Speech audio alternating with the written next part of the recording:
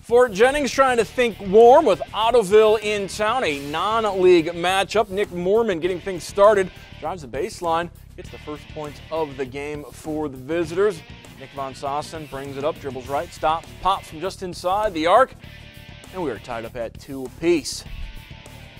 More from the Musketeers, Alex Berelsman, just midair, bucket for the home team. Ottoville works around the perimeter. Tyler Roby buries the long triple, put Ottoville up by one. More from the big green, doing work from outside. Brant Landon hits the three pointer as Ottoville wins 58 43 the final.